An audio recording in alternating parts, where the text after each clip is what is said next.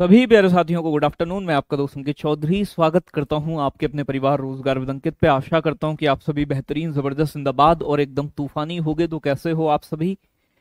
Good afternoon good afternoon good afternoon सभी प्यारे बच्चों को गुड आफ्टरनून मैं आपका अपना दोस्त तो अपने एक बार हाल चाल बताओ। सभी प्यारे बच्चे कैसे हैं आप सभी? बहुत अच्छे, साहिल हैं, आकाश हैं। नमस्ते नमस्ते नमस्ते। काजल हैं गुड आफ्टरनून आयुषी त्रिपु, त्रिपुरारी गुप्ता कुमार है, लक्ष्मण है, पंकज श्रीवास्तव, बहुत अच्छे सभी प्यारे साथी जुड़ जाएँ। नेहा, मोहित, आकांक्षा तिवारी, बहुत अच्छे सभी प्यारे साथियों को मेरी तरफ़ से बहुत बहुत गुड आफ्टरनून नमस्ते नमस्ते नमस्ते नमस्ते। नोटिफिकेशन नहीं आया भाई। नोटिफिकेशन यार पता नहीं क्या टेक्निकल इशू है। मैं एक बार आज बोलूँगा ज़रूर ऑफ़िस में। ठीक है ना? टेक्निकल टीम को कि भाई नोटिफिकेशन का बच्चों को दिक्कत आ रहा है, ऐसा क्यों हो रहा है? तो ऐसा नहीं होना चाहिए जो कि बिल्कुल। तो ऐसा हो रहा है तो मैं एक बार ज़रूर बोलूँगा और इसका सॉल्यूशन किया जाएगा जल्दी से। तो एक बार सभी प्यारे साथी जुड़ेंगे क्लास के साथ। कैसे हैं आप सभी बताएँगे एक बार अपने बारे में। तो सभी अच्छे हैं, एकदम क्लियर ज़बरदस्त। तो बात करते हैं बच्चे, आज कुछ बैंकों की। आपको मैंने आरबीआई के बारे में बताया बैंकिंग हिस्ट्री बताई, मैंने आपको मौद्रिक नीति बताई, मौद्रिक नीति सीआरआर एसएलआर ये सारी चीज़ें डिस्कस की। मौद्रिक नीति क्यों बनाई जाती है? मौद्रिक नीति से कैसे महँगाई कंट्रोल होती है? देश के अंदर पैसे को आरबीआई किस तरीके से नियंत्रित करता है? ये सारी चीज़ें मैंने आपको बताई हैं बच्चों, ठीक है ना? तो आगे बात करें प्यारे बच्चे तो आज जो डिस्कस करने वाला हूँ, मैं आपको थोड़ा सा बताऊँगा कि हम बैंकों को कैसे क्लासिफाई कर सकते हैं, कैटेगरी में कैसे बांट सकते हैं। तो थोड़ा सा एक चीज़ आपको थोड़ी सी समझनी है। अगर मैं बात करूँ बच्चे, classification of banks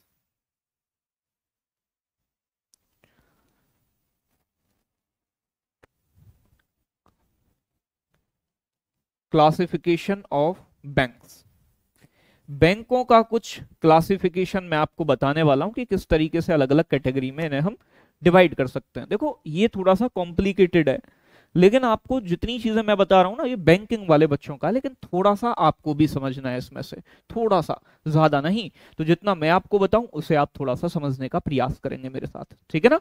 तो बैंकों का विभाजन किस तरीके से करने हैं?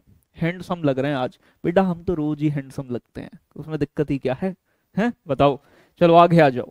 तो देखो, देश में अगर मैं बात करूँ, प्यारे बच्चे, अगर मैं बात करूँ यहाँ आपसे तो हम देश के बैंकों को दो कैटेगरी में डिवाइड कर सकते हैं। दो कैटेगरी। इन दो कैटेगरी से भी अलग होते हैं, वो भी डिस्कस करूँगा। एक होते हैं बच्चे, अनुसूचित बैंक, जिन्हें कहा जाता है अनुसूचित बैंक अनुसूचित बैंक अंग्रेज़ी में कहते हैं बच्चे इन्हें शेड्यूल बैंक शेड्यूल्स बैंक और दूसरी जो लिस्ट बनती है बच्चे आपकी, वो होती है प्यारे बच्चे, गैर अनुसूचित बैंक गैर अनुसूचित बैंक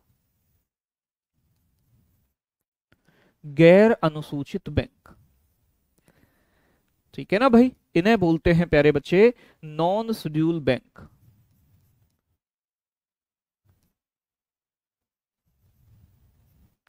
Non schedule bank. ठीक है ना भाई? तो दो कैटेगरी में हमने डिवाइड किया है पहले, ध्यान से समझना है।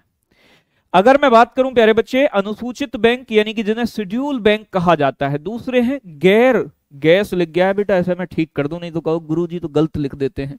बेटा हो जाता है कई बार जल्दी जल्दी में। तो गैर अनुसूचित बैंक नॉन शेड्यूल बैंक अब आपसे पहले तो एग्ज़ाम में यही क्वेश्चन पूछ लेता है कि किन बैंकों को अनुसूचित बैंक कहा जाता है और किन बैंकों को गैर अनुसूचित बैंक कहा जाता है नॉन शेड्यूल बैंक कहा जाता है।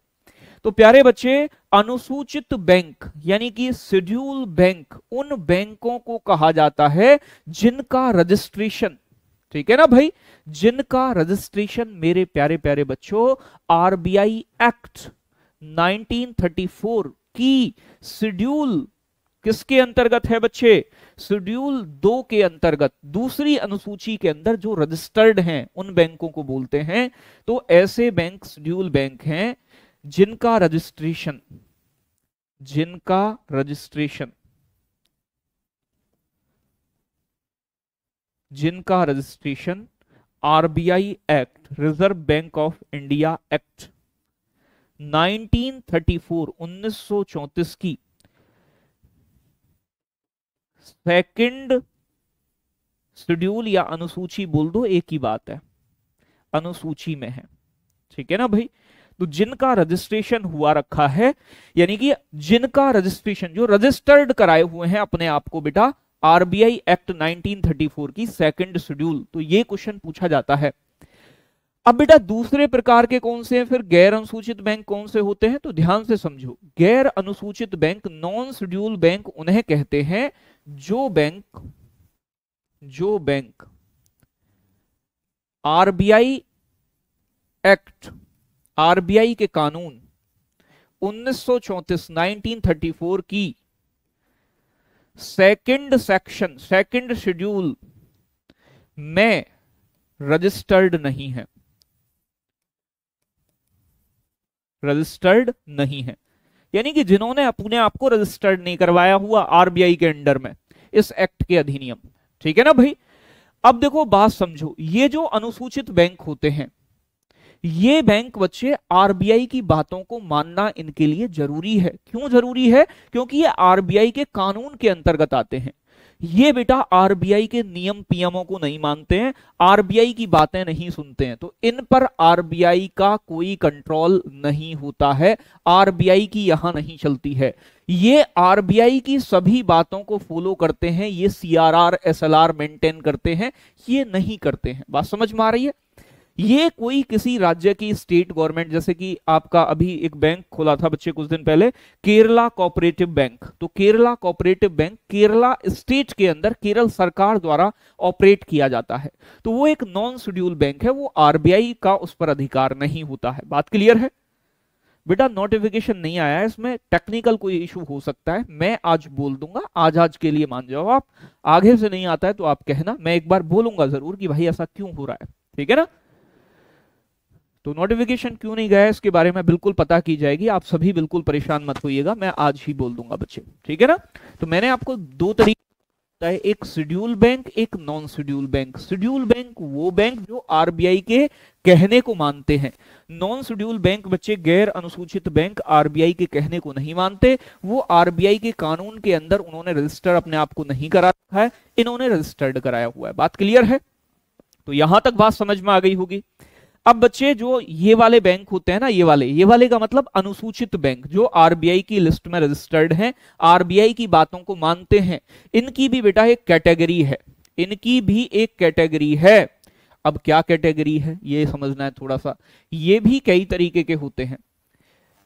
एक होते हैं बच्चे आपके, जिन्हें कहा जाता है वाणिज्यिक बैंक या व्यापारिक बैंक व्यापारिक बैंक व्यापारिक बैंक जिन्हें बोलते हैं। व्यापारिक बैंक को कहा जाता है कॉमर्शियल बैंक कॉमर्शियल बैंक आप अब समझ में आ जाएगी कि बैंक कितने तरीके के होते हैं। दिमाग कंफ्यूज ही आ जाएगा। मैं तो आपको लिमिटेड ही बताऊँगा जो आपके एग्ज़ाम के लिए ज़रूरी है। ठीक है ना भाई? चलो तो बेटा, बात ध्यान से समझो। मैं कह रहा हूँ आपसे एक होते हैं व्यापारिक बैंक, जिन्हें कॉमर्शियल बैंक कहते हैं, और एक होते हैं बच्चे सहकारी बैंक। सहकारी बैंक। सहकारी बैंक, इन्हें कोऑपरेटिव बैंक कहा जाता है।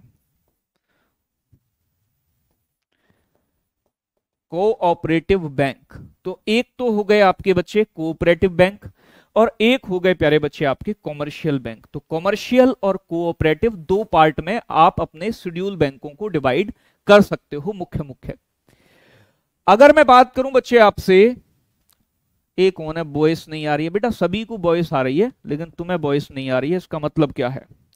एक बार दोबारा चेक कर लेते हैं, अगर ऐसी कोई बात है तो भाई वॉइस की व्यवस्था।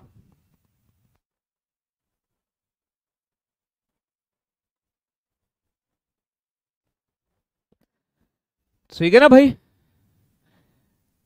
बेटा नाबार्ड क्या है वो भी बताऊँगा। थोड़ा शांति करोगे, नहीं करोगे? चीज़ों को समझो पहले। तो मैंने आपको बताया, शेड्यूल बैंक वो बैंक है जो आरबीआई एक्ट 1934 की सेकंड शेड्यूल के अंदर, दूसरी अनुसूची के अंदर रजिस्टर्ड है। ये मुख्य रूप से दो प्रकार के होते हैं। एक होते हैं व्यापारिक बैंक और एक होते हैं कोऑपरेटिव बैंक। अब देखो, व्यापारिक में और सहकारी बैंक में क्या डिफरेंस होता है? देखो, अगर मैं बात करूँ, प्यारे बच्चे, यहाँ आपसे। व्यापारिक बैंक जो होते हैं, ये कस्टमर डीलिंग या पब्लिक डीलिंग करते हैं। पब्लिक पब्लिक डीलिंग जो पब्लिक डीलिंग करते हो, ठीक है ना भाई? पब्लिक डीलिंग करते हो, वो आपके क्या है प्यारे बच्चे? तो वो आपके हो जाते हैं, यानी कि आपके बच्चे व्यापारिक bank commercial bank public dealing से मतलब है लोगों का पैसा जमा करना अपने पास, जो जमा एक्सेप्ट करें डिपॉजिट एक्सेप्ट करें और ज़रूरत पड़ने पर आपको ऋण प्रदान करते हो, ऋण देते हो, पैसा देते हो तो वो सभी बैंक जो होते हैं आपके बच्चे, वो कॉमर्शियल बैंक होते हैं। जैसे कि पीएनबी हो गया SBI ICICI bank HDFC bank Axis bank ये सभी क्या करते हैं? यानी कि बच्चे पब्लिक डीलिंग जनता के खाते होते हैं इन बैंकों में तो ये सभी व्यापारिक बैंक होते हैं, वाणिज्यिक बैंक होते हैं कॉमर्शियल बैंक होते हैं। ये बात समझनी है। ये जो काम करते हैं, बेटा, ये प्रॉफिट के लिए काम करते हैं। किसके लिए करते हैं? प्यारे बच्चे प्रॉफिट के लिए। इनका उद्देश्य होता है लाभ कमाना। प्रॉफिट बिना प्रॉफिट की बात नहीं करेंगे प्यारे बच्चे तो ये बात ध्यान रखना है। यानी कि ये प्रॉफिट के लिए काम करते हैं, लाभ कमाने के लिए। इनकी भी अलग अलग कैटेगरी होती हैं। अगर मैं बात करूँ बच्चे, व्यापारिक बैंक भी अलग अलग कैटेगरी के होते हैं। कॉमर्शियल बैंक, यहाँ समझो उनकी कैटेगरी क्या है। एक हो गए बच्चे आपके पब्लिक सेक्टर बैंक, यानी कि सरकारी, सार्वजनिक bank. Public sector bank. Public sector bank. बात समझ में आ रही है? पब्लिक सेक्टर बैंक, यानी कि जो सरकार के हैं, बचपन से ही सरकारी हैं। ठीक है ना? जो पैदा ही सरकारी हुए थे। बात समझ में आ रहा है?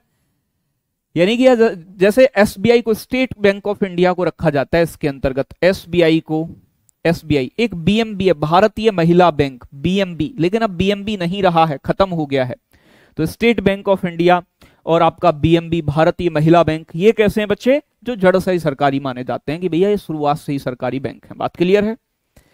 आगे बात करूँ प्यारे बच्चे, एक होते हैं आपके इसी के अंदर, यानी कि कॉमर्शियल बैंक के अंदर एक आते हैं बच्चे आपके nationalise bank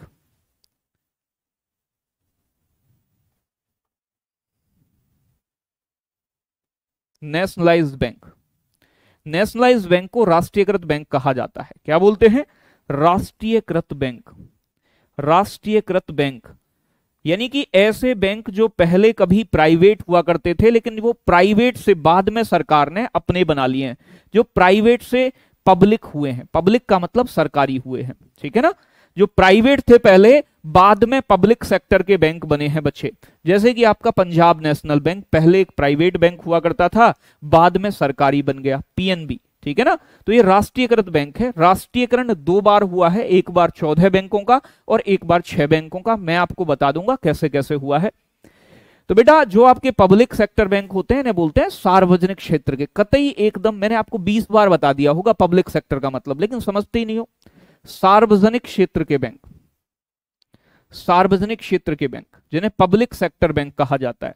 यानी कि सरकारी, जो जड़ से ही सरकार के हैं, सरकार ने बनाए हैं, एक राष्ट्रीयकृत बैंक, जो पहले प्राइवेट थे, बाद में सरकारी बने। इसमें होता क्या है बच्चे? इसमें 50 परसेंट, मोर देन 50 परसेंट पैसा किसका होता है? सरकार का। तो जिन बैंकों का राष्ट्रीयकरण किया जाता है, उनमें सरकार का हिस्सा, सरकार का शेयर कितना होता है? More than 50 percent. अगर 50 परसेंट से ज़्यादा पैसा सरकार का है, ठीक है ना भाई? एक कह रहे हैं, आशीष, बेटा अगर तुम्हें जानकारी थोड़ी कम हो तो बेटा पढ़ ही लिया करो अगर ज़्यादा ही अर्थशास्त्री बनना है तो मैं इधर बैठ जाऊँगा, आप आके पढ़ा लो बेटा इधर, मैं तो ये भी ऑफ़र दे रहा हूँ आपको? हम्म? तो आशीष खान नाम है, जो भी खान साहब हो, आप खान साहब बेटा शांति से पढ़ लो अगर नहीं पढ़ना है तो आपको वो भी छूट है हाँ? ऐसे कोई ज़ोर ज़बरदस्ती नहीं है कि भाई आपके कोड़े बरसाए जाएँगे भैया नहीं पढ़ना ही है मत पढ़ो आप लेकिन बेटा चीज़ों को समझो, जो मैं आपको बता रहा हूँ यहाँ से क्वेश्चन बनते हैं सीधे सीधे से बात क्लियर हो रहा है तो बच्चे, एक हो गए आपके जो कॉमर्शियल बैंक है। कॉमर्शियल बैंक के अंतर्गत आते हैं सरकारी बैंक ठीक है ना? जैसे कि एसबीआई आपका खाता होता है, आपसे लेन देन करता है। नेशनलाइज बैंक जो प्राइवेट से सरकारी बनाए गए हैं। एक होते हैं बच्चे प्राइवेट बैंक इसमें। प्राइवेट निजी क्षेत्र के bank private bank private bank private bank यानी कि बच्चे जिन्हें निजी क्षेत्र के बैंक कहा जाता है तो निजी क्षेत्र के बैंक यानी कि जो प्राइवेट है, निजी क्षेत्र के बैंक ठीक है ना भाई? प्राइवेट बैंकों के एग्ज़ाम्पल एक दो दे दूँ तुम्हें? H D F C H D F C commercial bank है, लेकिन प्राइवेट सेक्टर का है। Axis bank ICICI bank ICICI bank ठीक है ना? इतने आईसीआईसीआईसी हो रही है। बात क्लियर है? एक होते हैं बेटा फॉरनर बैंक फॉरनर ठीक है ना भाई? फॉरनर बैंक यानी कि विदेशी बैंक जिन्हें कहा जाता है। यानी कि ऐसे बैंक जिनका मुख्यालय कहीं विदेश में है, लेकिन वो अपने ग्राहकों को भारत में भी लोन पोन देते हैं, उनके ब्रांचेस भारत में भी हैं, उन्हें विदेशी बैंक कहते हैं, जैसे कि bank of America bank of America इसका एग्ज़ाम्पल मैंने एक आपको दे दिया है, बहुत सारे विदेशी बैंक भारत में काम करते हैं, जिन्हें फॉरनर बैंक कहा जाता है। यानी कि जिनका मुख्यालय भारत के बाहर हो, जैसे न्यूयॉर्क में है, इसका हेडक्वार्टर बैंक ऑफ़ अमेरिका का, लेकिन भारत में भी इसकी ब्रांचेस हैं। तो भारत में भी ये अपनी सेवाएँ देता है। ठीक है ना भाई? अरे भैया बैंकिंग नहीं देनी, लेकिन मेरे प्यारे बच्चे, ये क्वेश्चन आपसे एमटीएस में पूछा गया बताओ। ये पूछा गया कि शेड्यूल बैंक कौन से होते हैं? तो मैं एमटी अगर बैंकिंग का पढ़ाऊँगा तो बेटा क्लास ही छोड़ दोगे। मैं सिर्फ़ वो चीज़ आपको बता रहा हूँ कि बच्चे, ये बैंक होते कितने प्रकार के बेसिक चीज़ें समझो। जो मैं आपको बता रहा हूँ, कोई बड़ी बात है ही नहीं, उसमें बैंकिंग नहीं पढ़नी, आपको पता ही नहीं है कुछ। वहाँ पूछ लिया कि इनमें से कौन सा बैंक सरकारी है, कौन सा प्राइवेट है? चार ऑप्शन दे दिया आपको तो वहाँ बैंकिंग ढूंढोगे कि बैंकिंग पूछता है? अब सिलेबस उठा के देखो, आप एक बार, मैं कोई पगला गया हूँ जो मैं तुम्हें पढ़ा रहा हूँ, मैं बता रहा हूँ, सिर्फ़ समझो इन चीज़ों को। ये क्वेश्चन बना है कि बच्चे, आपके शेड्यूल बैंक कौन से होते हैं? तो आपको पता होगा शेड्यूल बैंकों के बारे में, तभी तो बताओगे कुछ। तो थोड़ी सी चीज़ बता रहा हूँ ना समझो। बात क्लियर है ना? तो यहाँ थोड़ा ध्यान दोगे तो बिल्कुल समझ में आ जाएगी। मैंने आपको बताया क्लासिफिकेशन ऑफ़ बैंक बैंक दो तरीके के हैं। एक अनुसूचित बैंक है, जिन्हें शेड्यूल बैंक कहते हैं, एक गैर अनुसूचित है। इन गैर अनुसूचित बैंकों को लोकल एरिया बैंक भी बोला जाता है। Local area bank. Local area bank. यानी कि किसी राज्य के सरकार के द्वारा ये चलाए जाते हैं, स्टेट गवर्नमेंट द्वारा इन्हें चलाया जाता है। आरबीआई का कंट्रोल इन पे नहीं होता है तो इनके बारे में हमें बात भी नहीं करनी है। हमने बात की अनुसूचित बैंकों की, जिन्हें कहते हैं शेड्यूल बैंक। शेड्यूल बैंक वो बैंक होते हैं जिनका रजिस्ट्रेशन ये क्वेश्चन इंपोर्टेंट है। आरबीआई एक्ट 1934 की सेकंड शेड्यूल में हुआ है। जिनका रजिस्ट्रेशन नहीं है आरबीआई की सेकंड शेड्यूल में, वो गैर अनुसूचित बैंक हैं। अब अगर मैं बात करूँ यहाँ आपसे, ये दो प्रकार के होते हैं। एक व्यापारिक बैंक, यानी कि बच्चे व्यापारिक बैंक वो होते हैं जो पब्लिक डीलिंग करते हैं। हमारा पैसा अपने पास जमा कर लें, हमें ज़रूरत पड़ने पर लोन दे दें। इसमें कौन सी समझने वाली बात है?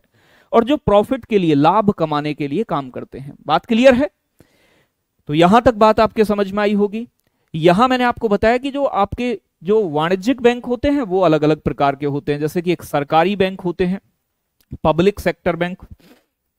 एक आपके बच्चे राष्ट्रीयकृत बैंक होते हैं नेशनलाइज बैंक जिन्हें कहते हैं। एक प्राइवेट सेक्टर के बैंक यानी कि जिनमें प्राइवेट लोगों का पैसा ज़्यादा लगा हो 50 परसेंट से ज़्यादा पैसा प्राइवेट लोगों का हो। एक विदेशी बैंक होते हैं, यानी कि फॉरनर बैंक जिन्हें बोलते हैं, जिनका विदेश में कहीं मुख्यालय हो, जैसे बैंक ऑफ़ अमेरिका न्यूयॉर्क में मुख्यालय, भारत में ब्रांच है।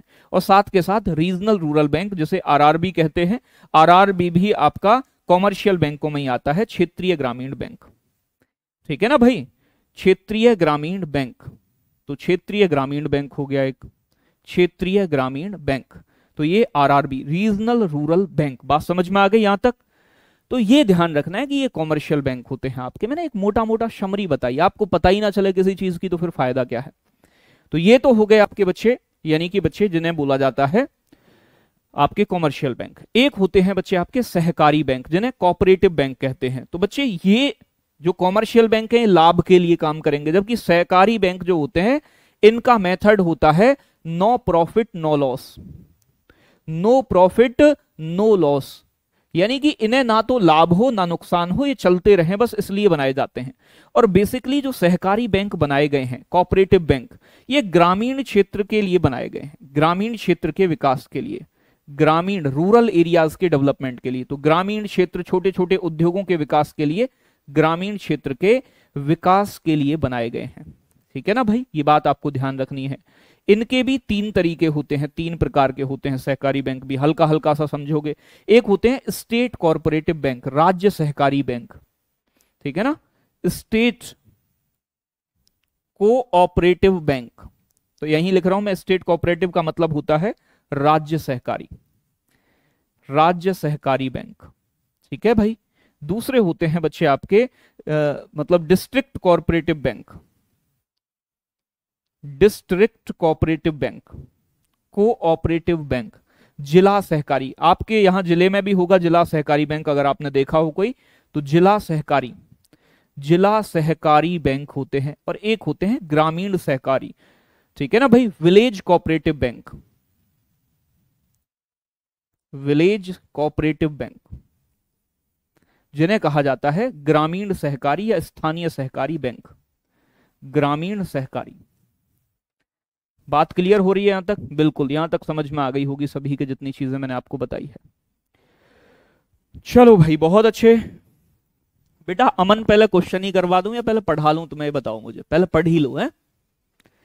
चलो भाई तो यहाँ मैंने आपको क्या बताया? बैंक दो प्रकार के, एक शेड्यूल और एक नॉन शेड्यूल शेड्यूल बैंक, वो बैंक जो बच्चे आरबीआई एक्ट 1934 की सेकंड शेड्यूल में लिस्ट हैं दो प्रकार के हैं, एक आपके कॉमर्शियल और एक आपके बच्चे दूसरे वाले सहकारी कोऑपरेटिव बैंक सहकारी मतलब जो सहयोग से चले, मिलजुल के चले और छोटे लेवल के काम करें। ठीक है ना भाई? तो ये बात ध्यान रखनी है नो प्रॉफिट नो लॉस पे काम करते हैं, इनका काम बच्चे क्या होता है प्रॉफिट गेन करना होता है, ये थोड़ा सा समझना है, जितना मैंने आपको बताया है। तो यहाँ तक आपकी समझ में आ गई होगी। अब देखो, यहाँ तक आपको एक चीज़ और समझनी है कि कुछ होते हैं स्पेशल बैंक एक लिस्ट यहाँ पे अलग से बनाओगे स्पेशल बैंक स्पेशल बैंक जो किसी स्पेशल क्षेत्र के विकास के लिए बनाए गए हैं। ठीक है ना?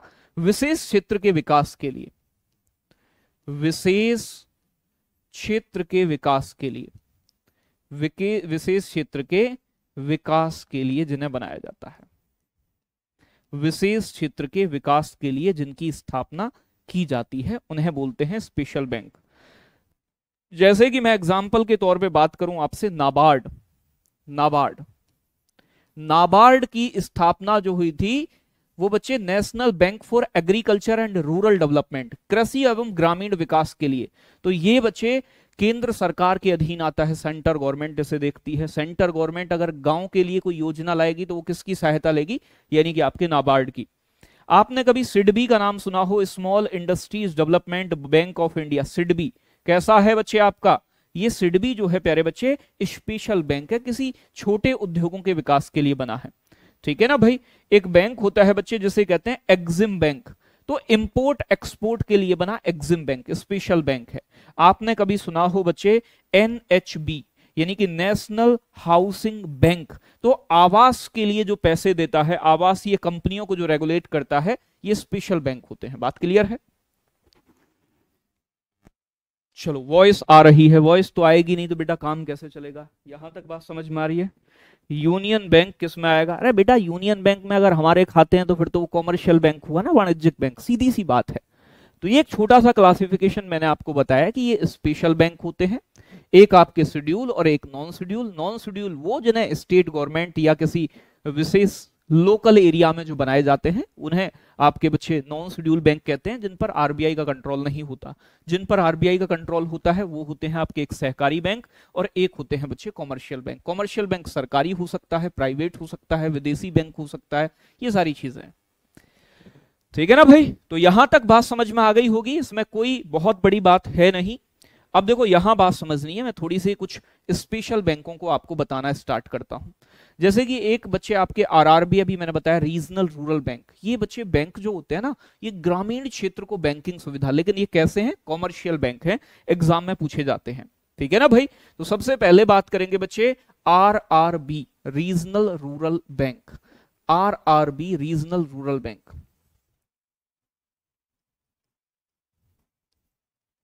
regional rural bank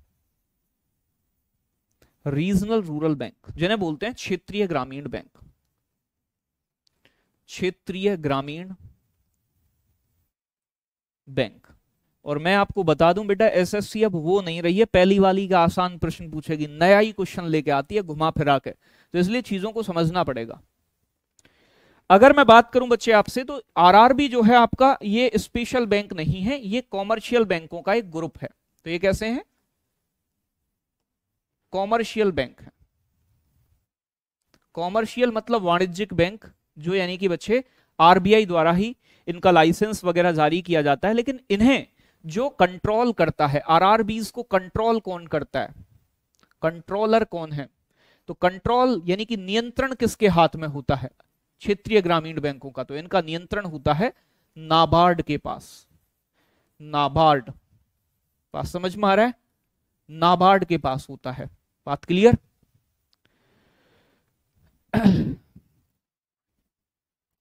तो बात क्लियर हो रही है। मैंने आपको बताया कि आरआरबी, क्षेत्रीय ग्रामीण बैंक, एग्ज़ाम में पूछा जाता है सीधा सीधा सा।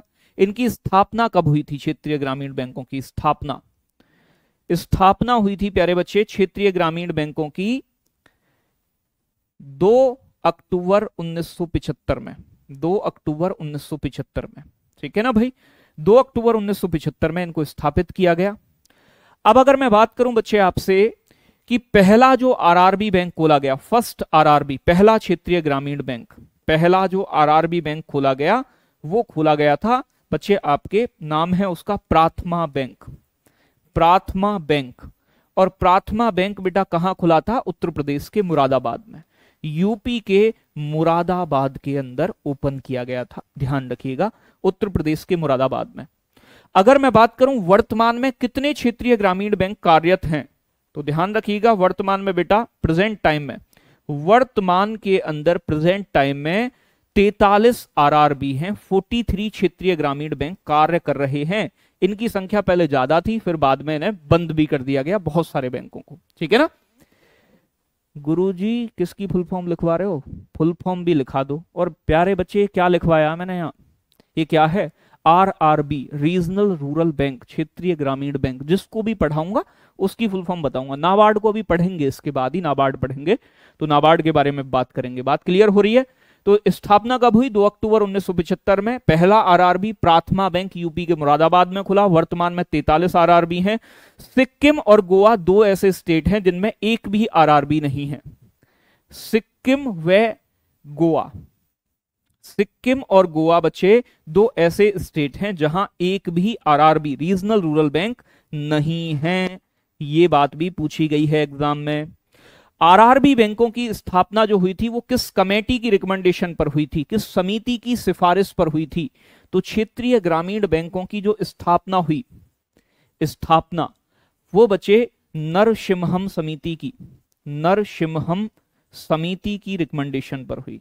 नरसिम्हम समिति की बच्चे रिकमेंडेशन पर इनकी स्थापना हुई थी। स्थापना करने की सलाह जो दी थी, वो किस कमेटी ने दी थी?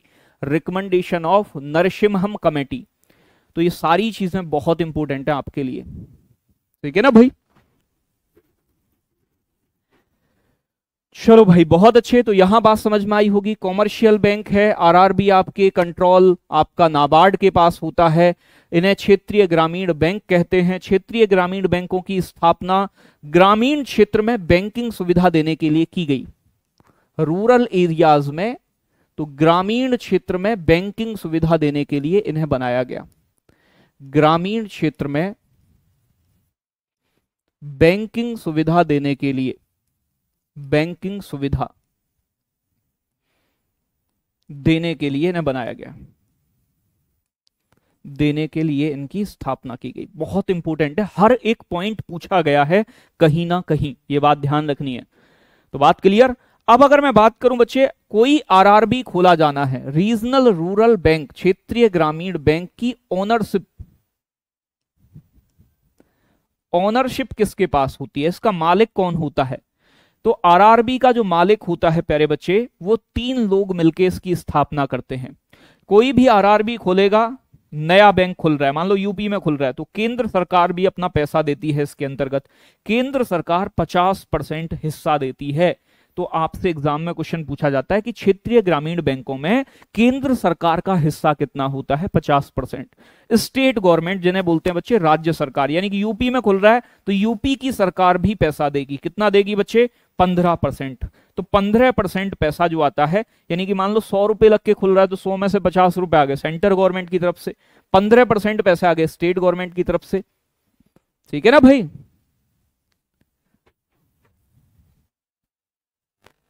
और बच्चे, बाकी के पैसे कहाँ गए? पैंतीस परसेंट पैसे। तो एक होते हैं प्रायोजक बैंक। एक होते हैं बच्चे, प्रायोजक बैंक। प्रायोजक बैंक। प्रायोजक बैंक को कहा जाता है स्पॉन्सर बैंक। Sponsor bank. तो जो स्पॉन्सर बैंक होते हैं आपके बच्चे, वो भी पैसा देते हैं। अब वो कितना पैसा देते हैं? तो बाकी के बचे हुए पैसे जो देते हैं प्यारे बच्चे, वो प्रायोजक बैंक ही देते हैं, पैंतीस परसेंट पैसा। प्रायोजक बैंक कौन से होते हैं? जो राष्ट्रीयकृत, जिनका राष्ट्रीयकरण हो चुका है। तो राष्ट्रीयकृत बैंकों को ही, राष्ट्रीयकृत बैंक को ही बच्चे क्या कहा जाता है? प्रायोजक बैंक कहा जाता है। और प्रायोजक बैंक के एग्ज़ाम्पल जैसे कि SBI, state bank of India, PNB, Punjab national bank, जिनका राष्ट्रीयकरण हुआ है, ठीक है ना? वो सभी आपके प्रायोजक बैंक हैं। प्रायोजक का मतलब स्पॉन्श करते हैं, इन बैंकों के लिए पैसा देते हैं। अब देखो क्वेश्चन कैसे बनेगा। क्वेश्चन बनेगा, क्षेत्रीय ग्रामीण बैंकों में प्रायोजक बैंक की हिस्सेदारी कौन, कितनी होती है? 35 परसेंट। केंद्र सरकार की हिस्सेदारी कितनी होती है? 50 परसेंट। आपसे पूछेगा, आरआरबीज को जो प्रायोजक बैंक रेगुलेट करते हैं, वो कैसे बैंक होते हैं? तो राष्ट्रीयकृत नेशनलाइज्ड बैंक। ठीक है ना भाई? बहुत बढ़िया। नीचे करिए, नीचे कर दिया बेटा लो, नीचे कर दिया। ठीक है ना? तो मैंने आपको क्या बताया? जो जो चीज़ें बताई हैं, वो एक बार दोबारा से सुन लो। मैंने कहा रीजनल रूरल बैंक बच्चे आपके कैसे बैंक हैं? कॉमर्शियल बैंक हैं। ठीक है ना? जिन्हें आरबीआई भी देखता है और जिनका लाइसेंस आरबीआई देता है, लेकिन कंट्रोल नाबार्ड करता है। बात क्लियर है? इन्हें क्षेत्रीय ग्रामीण बैंक कहा जाता है। ग्रामीण क्षेत्र में बैंकिंग सुविधा उपलब्ध कराने के लिए बनाए गए नरसिम्हम कमेटी की सिफारिश पर। इनकी स्थापना 2 अक्टूबर 1975 में गांधी जी के बर्थडे पे हुई। पहला बैंक प्राथमा बैंक यूपी के मुरादाबाद में खुला। वर्तमान में तैतालीस रीजनल रूरल बैंक काम कर रहे हैं। सिक्किम और गोवा में कोई भी आरआरबी बैंक नहीं है। ठीक है ना भाई? अरे बेटा क्वेश्चन कराऊँगा मैं, थोड़ी शांति करोगे या नहीं करोगे? मेरी बात समझो थोड़ी सी। बेटा, दिमाग में कुछ खुरापाती कीड़ा घुस गया है। मैं समझा रहा हूँ, समझ नहीं रहे हो? क्वेश्चन कराओ पहले। पहले क्वेश्चन करा दूँ? हर चैप्टर के बाद तो क्वेश्चन कराएँ। जितना मैं कराता हूँ, शायद कोई और कराता भी नहीं होगा।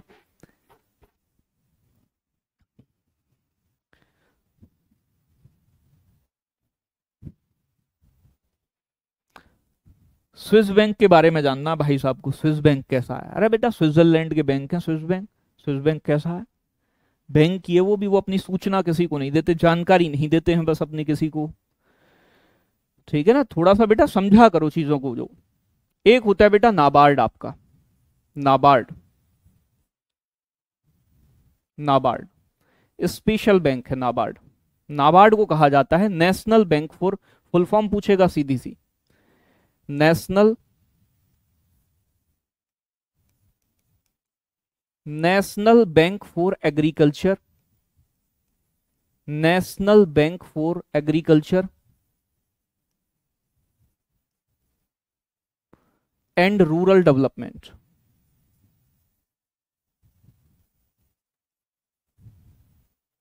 And rural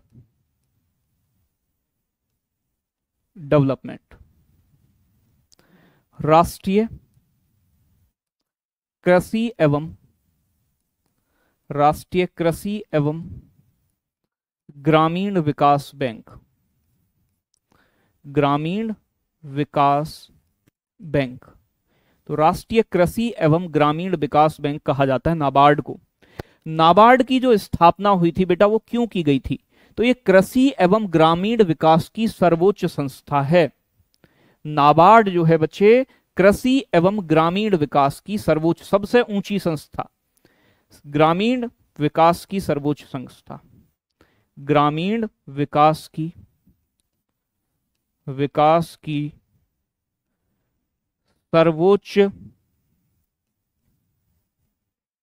संस्था है। देखो, इन्हें कंट्रोल करती है जो स्पेशल बैंक होते हैं ना, सीधे गवर्नमेंट द्वारा कंट्रोल होते हैं। तो नाबार्ड एक स्पेशल बैंक है, विशेष बैंक स्पेशल बैंक है। ये क्यों बनाया गया है? ये बच्चे गाँव के विकास को और कृषि को प्रमोट करने के लिए बनाया गया है। अब ध्यान से समझो। मान लो कोई योजना लॉन्च की सरकार ने, ठीक है ना? कोई भी मतलब योजना हो गई, जैसे किसान मानधन योजना हो गई। वो किससे जुड़ी हुई है? किसानों से जुड़ी हुई है, किसानों के मान सम्मान के लिए। सरकार ने लॉन्च की है।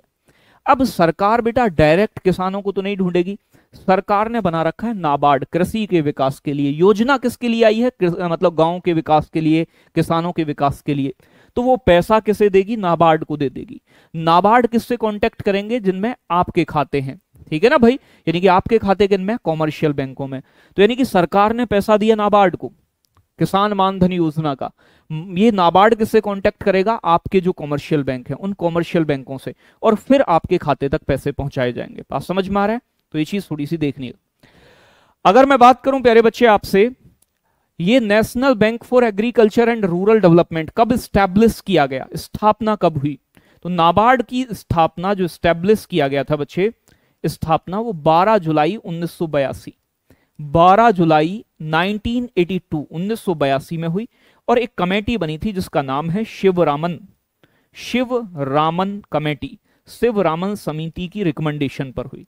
शिव रामन समिति की सलाह पर इसे स्टैब्लिश किया गया। On the basis of Sivaraman committee. NABARD का हेडक्वार्टर कहाँ है, प्यारे बच्चे? तो नाबार्ड का जो हेडक्वार्टर है, मुख्यालय है, वो मुंबई के अंदर है। मुंबई के अंदर है नाबार्ड का मुख्यालय। एक स्पेशल बैंक है, जो कृषि और ग्रामीण विकास की देखरेख करता है। बात समझ में आ रहा है? अगर मैं इसके अध्यक्ष की बात करूँ तो वर्तमान में नाबार्ड के जो अध्यक्ष हैं, प्यारे बच्चे, उनका नाम है K V K we Shaji, के वी शाजी वर्तमान में नाबार्ड के अध्यक्ष हैं, बहुत इंपोर्टेंट है। बात क्लियर मैंने भी तो नाबार्ड ही लिखा है भाई। तो नाबार्ड की स्थापना कब हुई? नाबार्ड, नाबार्ब हो गया है। नाबार्ड लिख दो। गलती से लिख गया होगा भाई। नाबार्ड, ठीक है ना? National bank for agriculture and rural development राष्ट्रीय कृषि एवं ग्रामीण विकास बैंक, बात क्लियर है? वेरी हार्ड सर हाँ बेटा हार्ड तो है। अब एग्ज़ाम में अगर न्यू पूछे नाबार्ड की फुल फॉर्म क्या तो ना बता पाओ।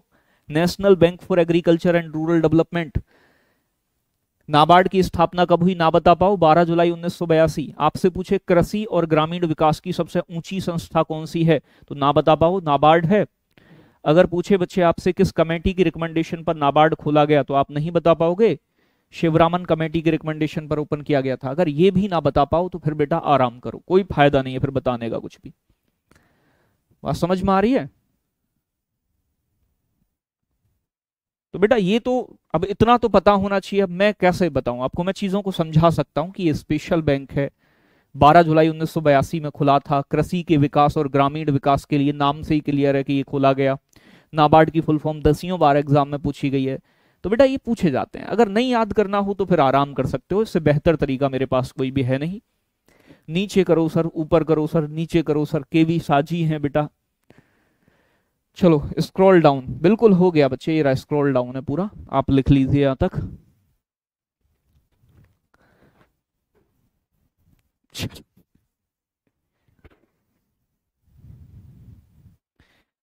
एक बार लास्ट में पाँच मिनट रिवीजन करवा दूँगा सभी चीज़ें रिवाइज हो जाएँगी निश्चिंत रहो परेशान मत हुआ करो। जैसे नाबार्ड खोला गया बच्चे स्पेशल बैंक किसके लिए? यानी कि आपका बच्चे आ, मामला करने के लिए ठीक किसका? कृषि और ग्रामीण विकास का ऐसे ही बच्चे आपका सिडबी की स्थापना हुई सिडबी। बहुत पूछा जाता है सिडबी आपसे सिडबी क्या है? Small industries development bank of India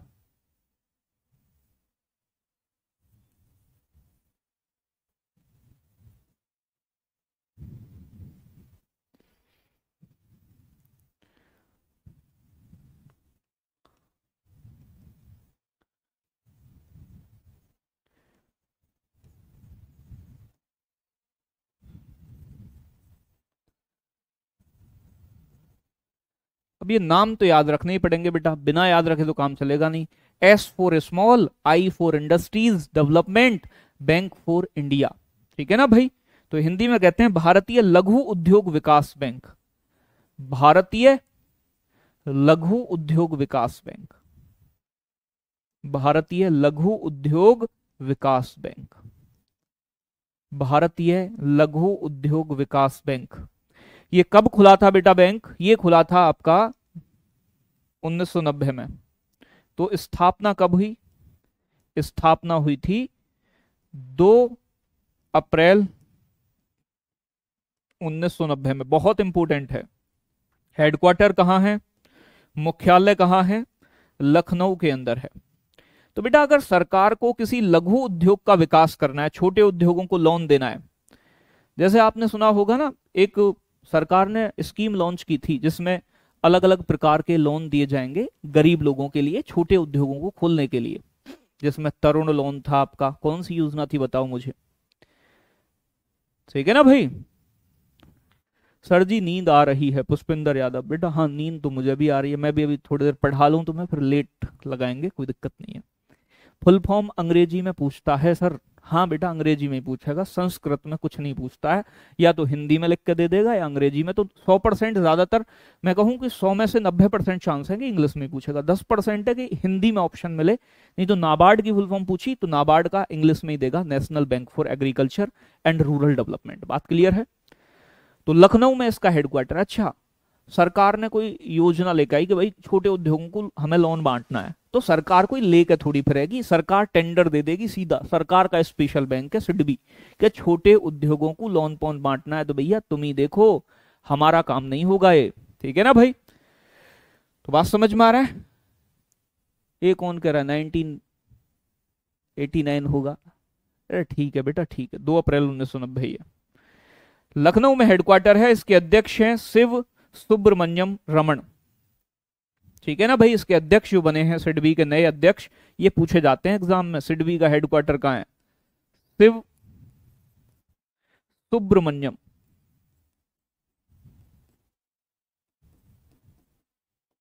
Raman Shiv Subramaniam Raman इसके अध्यक्ष हैं प्रेजेंट के। किसके लिए काम करता है? लघु उद्योगों को लोन वोन बांटने का काम।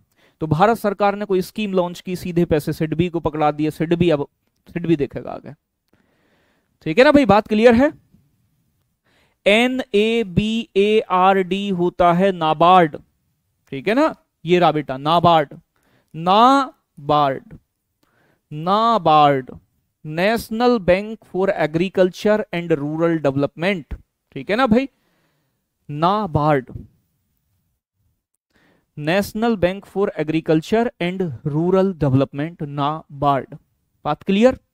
चलो।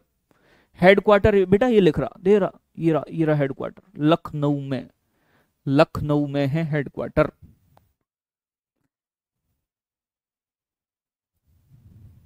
चलो भाई, बहुत बढ़िया।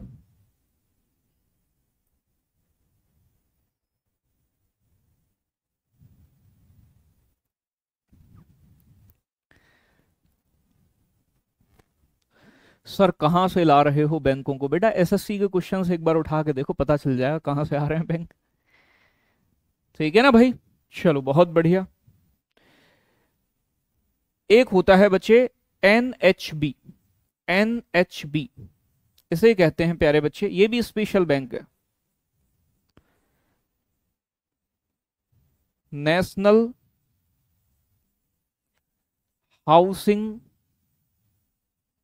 national housing bank. ठीक है ना भाई? इसे कहा जाता है बच्चे, राष्ट्रीय आवास बैंक। राष्ट्रीय आवास बैंक। National housing bank. राष्ट्रीय आवास बैंक, जिसकी स्थापना हुई थी बच्चे आपके, स्थापना की गई थी 9 जुलाई 1988 में। 9 जुलाई 1988 1988 में नेशनल हाउसिंग बैंक।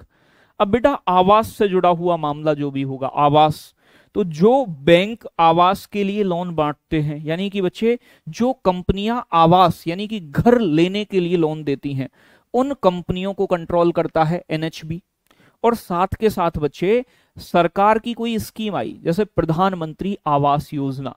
अब सरकार ने तो आवास योजना लॉन्च कर दी, लेकिन बेटा उसे देखेगा कौन पूरा?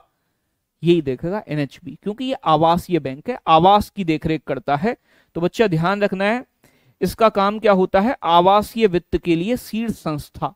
तो अगर आवास के लिए वित्त वाली बात है ना, कोई कंपनी से वित्त ले रहे हो तो उसकी देखरेख पूरा यही करता है। आवासीय आवासीय वित्त की आवासीय वित्त की सीड संस्था है। आवासीय वित्त की सीड संस्था है। बात क्लियर है? अगर मैं बात करूँ, प्यारे बच्चे, यहाँ आपसे इसका हेडक्वार्टर है, दिल्ली के अंदर मुख्यालय, दिल्ली में है, दिल्ली में, और इसके प्यारे बच्चे अध्यक्ष जो है वर्तमान के तो हाउसिंग के लिए काम करती है, आवास के लिए अध्यक्ष हैं शरद कुमार। शरद कुमार इसके प्रेजेंट में अध्यक्ष हैं। ठीक है? बात क्लियर? अब देखो, यहाँ समझो मेरी बात। पाँच मिनट में चीज़ों को रिवाइज कराए देता हूँ। कल जो बाकी की चीज़ें अगली क्लास में करा के फिर इसके क्वेश्चंस करा दूँगा। मैंने आपको बताया कि हमारे देश में जो बैंक हैं, उन्हें अलग अलग कैटेगरी में डिवाइड किया जाता है। पहला नंबर आता है बच्चे, एक तो है हमारा सेंट्रल बैंक जो सबका पापा है, उसे बिल्कुल अलग रखते हैं। वो हेड है, ठीक है ना? नंबर दो क्लासिफिकेशन जब करते हैं, एक होते हैं शेड्यूल बैंक एक होते हैं non schedule bank schedule bank वो बैंक जो आरबीआई एक्ट 1934 की सेकंड शेड्यूल में रजिस्टर्ड है. नॉन शेड्यूल वो बैंक होते हैं जो लोकल एरिया के बैंक हो, जो आरबीआई की बात ना मानते हो, जो आरबीआई के उन्नीस सौ चौंतीस के अधिनियम में रजिस्टर्ड नहीं है. अब जो बच्चे रजिस्टर्ड हैं शेड्यूल बैंक वो दो प्रकार के हैं कॉमर्शियल हैं और एक बच्चे सहकारी हैं कॉपरेटिव हैं। जो कॉमर्शियल बैंक होते हैं, जो पब्लिक डीलिंग करते हैं और प्रॉफिट के लिए काम करते हैं।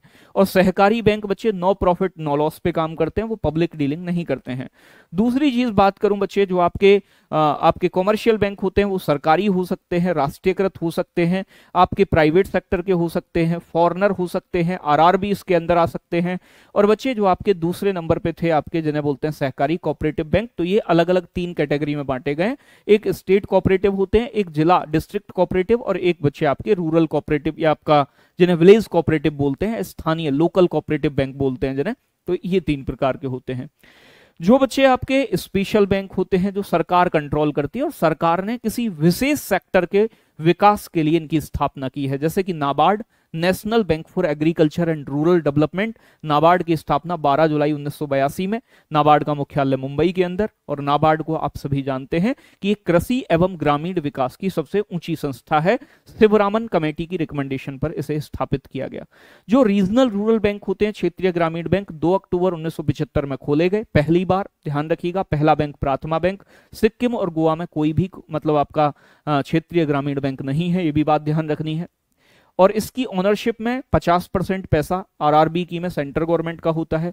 और बच्चे, आपका अगर मैं बात करूँ पंद्रह परसेंट पैसा स्टेट गवर्नमेंट का और 35 परसेंट राष्ट्रीयकृत स्पॉन्सर बैंक जो होते हैं, उनका होता है। बेटा एग्जिम बैंक भी करवा देंगे, कल करवाएँगे, बाकी की चीज़ों को। एग्जिम बैंक है अभी, कई सारी चीज़ें और रह गई हैं। बैंकों का राष्ट्रीयकरण रह गया है अभी। सरकारी क्षेत्र के कितने बैंक हैं, उनका हेडक्वार्टर का ये रह गया है। तो थोड़ी सी चीज़ें बची हुई हैं कल कल की क्लास और चलेगी बैंकिंग से जुड़ी हुई। तो मतलब एक क्लास और है, जो मंडे में होगी आपकी बैंकिंग से जुड़ी हुई। ठीक है ना भाई? चलो, और बेटा इससे बेहतरीन तरीके से कोई तुम्हें नहीं पढ़ा सकता है ये बात अपने दिमाग में डाल लो फिर मैंने सिडबी बताया small industries development bank of India 1990 में बना सिडबी। छोटे उद्योगों के विकास के लिए लोन वोन प्रदान करता है तो सरकार सिडबी के कान पकड़ती है, सिडबी आपके कॉमर्शियल बैंकों के और कॉमर्शियल बैंकों के द्वारा उसके बंटवाता है। ठीक है ना भाई? चलो, याद कैसे करें? अब भैया कैसे याद करना है? ये अभी समझ में नहीं आया। तीन बार तो मैंने रिवाइज करवा दिया NABARD national bank for agriculture and rural development 12 जुलाई उन्नीस मुंबई में हेडक्वार्टर शिवरामन कमेटी की रिकमेंडेशन पे बना। क्षेत्रीय ग्रामीण बैंक 2 अक्टूबर उन्नीस ठीक है ना? तैतालीस क्षेत्रीय ग्रामीण बैंक है। फिर इसके बाद में SIDBI small industry development bank of India भारतीय लघु उद्योग विकास बैंक, कब स्थापना हुई? 1990 में हेडक्वार्टर लखनऊ में। इसके बाद आपको ये बताया है, इसके बाद ये एनएचबी नेशनल हाउसिंग बैंक राष्ट्रीय आवास बैंक की स्थापना 9 जुलाई उन्नीस हेडक्वार्टर दिल्ली, और अध्यक्ष शरद कुमार। तो आवास के लिए देख रेख आवास की सबसे बड़ी संस्था है। अगर इससे बेटा थोड़ा बहुत अपना भी याद करने का प्रयास करना पड़ेगा ना, तभी होंगी चीज़ें याद। अब मान लो कोई चीज़ ऐसी है। मान लो भैया मेरा घर है, मेरा कोई नया घर खरीदा पिताजी ने कहीं, और पिताजी ने कही कि भाई यहाँ आ जाओ, दिल्ली में घर लिया है। अब मैं बेटा घर तो कभी गया नहीं हूँ पहले उसमें, पहली बार जाना है। तो मुझे तो बड़ी दिक्कत होगी। मैं इंगेट पूछूँगा, भैया, त्रिलोकपुरी में लिया मान लो। त्रिलोकपुरी कहाँ भैया? मुझे जानकारी नहीं। लेकिन अगर कोई चीज़ मैंने एक बार देख ली, घर चला गया, फिर उसके बाद मुझे दोबारा घर जाना होगा, मैं क्यों पूछूँगा किसी से? इसका मतलब क्या है? इसका मतलब अगर आपने ये चीज़ नहीं पढ़ी है और पहली बार पढ़ी है तो बेटा पहली बार में समझ में तो आ गई आपके। अब आपको याद कैसे करना है? बेटा, घर में एक बार जाके ही अगर छोड़ दोगे तो मामला नहीं हो पाएगा। पहली बार जाने में तो दिक्कत है। जब तक इसे दो तीन बार रिवाइज नहीं करोगे तब तक काम नहीं चलेगा। मतलब एक दो बार देखो ना भाई, मैं कह रहा हूँ कि आप कुछ मत करो। आप जितना भी मैंने पढ़ाया है संडे का दिन मिलता है। एक हफ़्ते में जितना पढ़ाता हूँ संडे में उसकी पीडीएफ खोल के एक बार सिर्फ़ ये रीड कर लो। अच्छा गुरुजी ने ऐसे नाबार्ड के बारे में बताई तो इसका मतलब याद हो जाएगा, बात क्लियर तो ऐसे करके चीज़ों को याद करना है मेरे प्यारे बच्चे। ठीक है बच्चों? Love you take care bye bye आज की क्लास यहीं तक रहेगी। मिलेंगे मंडे में एक बेहतरीन सेशन के साथ शाम पाँच बजे। पाँच नहीं, सात बजे। प्रैक्टिस सेशन से ज़रूर जुड़िएगा, एक बेहतरीन प्रैक्टिस सेशन चल रहा है आपके लिए और वहाँ मैं नई नई चीज़ों को आपको सिखाता हूँ। Love you take care bye bye बहुत सारा प्यार आप सभी के लिए।